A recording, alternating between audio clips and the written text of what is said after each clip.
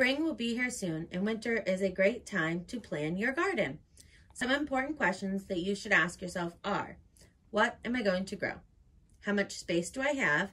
Should I buy seedlings or start my plants from seeds? If you have limited space or only need a few plants, then buying already started plants is the easy way to go. Starting plants from seeds is more economical, educational, and fun.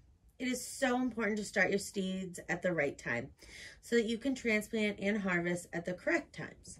Check online to find your USDA plant hardiness zone. Here in Essex County, your our zone is 6. The seed packet is a great way to start. Always check for how much time is needed for planting prior to your last frost. Here in northeastern Massachusetts, we can still get frost up to late May. Today, we are going to start some best boy tomatoes, bell peppers, and cauliflower. They all require planting six to eight weeks before the last frost. Many people use Memorial Day as a guideline for transplanting. If you plant outside earlier than May, make sure to watch the weather just in case there is a frost. Early to mid-March is usually the best time to start these frost-sensitive plants. I like to use planting trays, inserts, and a seed starting mix to start my seeds. Most seed starting mixes are made up of sphagnum peat moss, perlite, and a wetting agent. It's a good idea to put the mix you are going to use in a bucket. And add water until it is moist, not soaked. You should be able to squeeze some in your hand so it forms a shape. No water comes out of it. I like to press it down slightly so it is firm.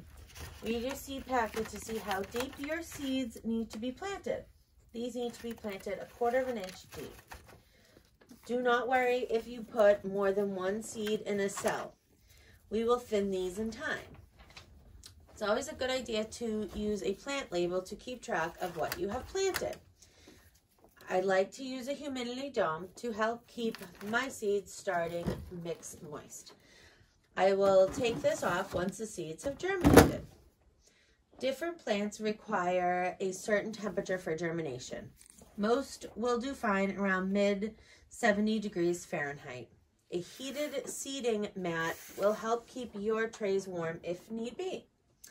Water regularly. Make sure your mix stays moist, not saturated, it's too wet, your seeds can rot. Place your seed trays in a south-facing sunny window. Once your seedlings are growing, you may want to rotate your tray to help your seedlings get equal light on all sides. A grow light could be used to add additional sunlight. When you're ready to thin your seedlings, read your seed packet for the best time. This tomato seed packet says to thin when the plants are four to six inches high. I like to then put the tomato seedlings in a larger pot like these peat pots. Remember to have fun starting your seeds. It is a rewarding project for one and all. Make sure to stop by the Essex County Co-op for all your seed starting supplies. Or check out our new site, EssexCountyCoop.com. Have you seen the co-op lately?